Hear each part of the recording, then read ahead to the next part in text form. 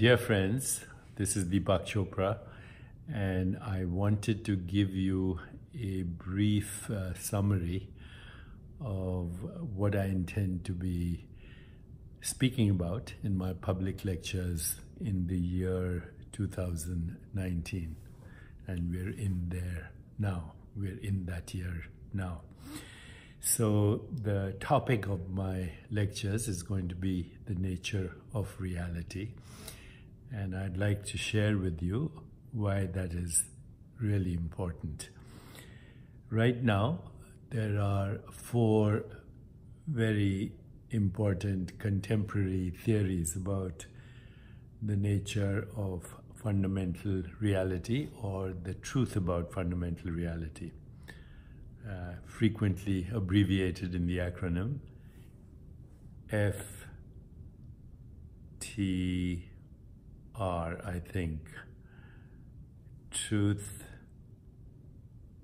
no, fundamental truth about reality.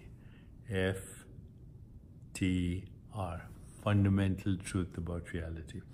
So, right now, there are about four main uh, theories about that. The first is what I'll call matter only monism, which means that the world is made up of matter only and that mind and consciousness and everything that we experience every day is a result of uh, matter producing thoughts, feelings, images, perceptions, and all experience, including the experience of that which we call our body.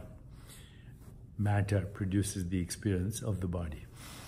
So that's matter only monism, and that is in trouble because. Uh, when we deeply look at the nature of matter, it seems to be very dynamic, whatever this entity is that we call matter. Matter is made up of uh, molecules and atoms, which are made up of particles, which are made up of possibilities, possibility waves, which live in some mathematical space, which is infinitely dimensional, and uh, mathematically is called Hilbert space. In any case, the matter only concept is in trouble because matter, as we'll see, turns out to be non material. The second uh, theory about reality is uh, what we can call uh, idealism, which means that the world is mental. And uh, that is a very popular theory as well today. But if the world is mental, then how does it experience that which we call physical? And this um, is, uh, or how does it create? How does mind create matter? This theory is also in trouble right now because uh, it doesn't explain the existence of that which scientists call matter. Okay, so that's the second way of looking at fundamental truth about reality. The third way is what is called dualism, that mind is separate from body and the physical world. And that goes back to Rene Descartes, uh, the French philosopher. And that too is in trouble because if mind and um, body and the physical world are separate, then how do the two interact? How do you even lift your arm if the thought is immaterial? And lifting the arm is a biological action very much at the physical level. So dualism in trouble.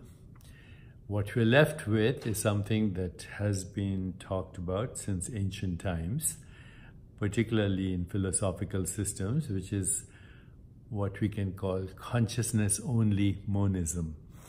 Or there is only consciousness, and mind, matter, and the physical world are projections of that consciousness that consciousness modulates itself into the experience, uh, which we call sensations, perceptions, images, feelings, thoughts, and then we create constructs out of that that we call the mind, the body, and the physical universe. So, why am I in favor of this particular aspect of reality? First of all, I'm in favor of this uh, particular aspect of reality or understanding of reality is that it actually uh, goes over all the other objections that we have in other theories. But if consciousness is the only reality, and if consciousness is fundamental, and if it's a field of all possibilities and unpredictability and creativity and evolution, and is the source of all intention, insight, intuition, imagination, higher vision. And if it is consciousness, then that is modulating the mind. Uh, if it is consciousness that is modulating itself as the activity of that which we call the mind, the body, and the world, then you see reality is subject to revision. We can um, ultimately reinvent the body um, change our minds and actually uh, have a new experience of the world, of everyday reality, the human construct that we call everyday reality. In other words, by understanding consciousness, we can understand everything. And this is the solution to the big dilemmas that we have as humans. What is the meaning of death? Uh, why do we have to grow old and die? Um, what is our true nature? Does God exist? Does it matter if God exists or not? But more importantly, how this understanding applies to our daily existence, which means um, how does it apply to a, an experience that we can have every day? how does it apply to the experience that we want every day, like a joyful, energetic body, a loving, compassionate heart, a reflective, alert mind, lightness of being? Can we change the way we age? Can we reverse the biological markers of aging? Can we, in fact, reinvent our body completely and uh, make it ever fresh and new? I've been doing that, by the way, for many years. And so, how does this understanding allow us to reinvent the body and uh, revise everything that we call reality? How does this apply to what the world calls success? And how can we achieve success? How can we achieve good health? How can we achieve higher consciousness? How can we uh, go beyond addictive behavior? How can we um, create a new reality for the world, including more uh, wealth for everyone, economic and social justice, a sustainable planet, a joyful and healthy world. This has been my quest for the last 40 years.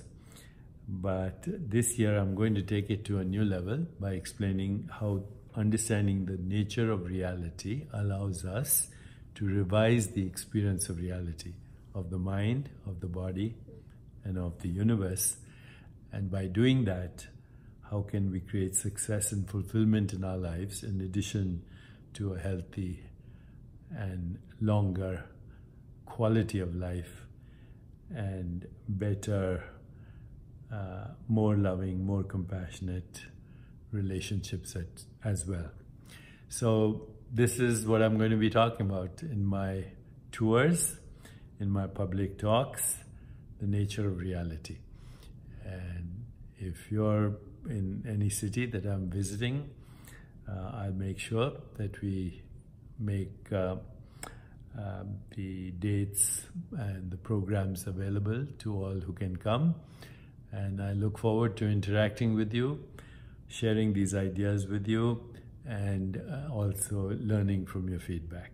The Nature of Reality with me, Deepak Chopra, the year 2019.